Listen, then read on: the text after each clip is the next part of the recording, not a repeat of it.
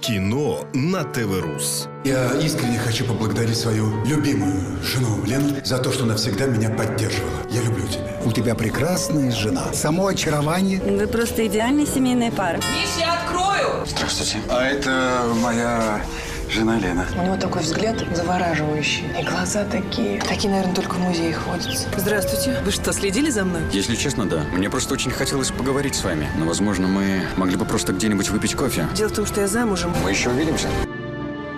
Мне так хорошо с тобой. Мне тоже очень хорошо. Я бы хотел никогда с тобой не расставаться, чтобы ты принадлежала только мне. Я бы тоже очень этого хотела. Ты никогда не любил меня. Ты сердечный хирург, и у тебя нет сердца. У тебя никогда его не было. Лена! Я люблю Игоря. Ничтожество!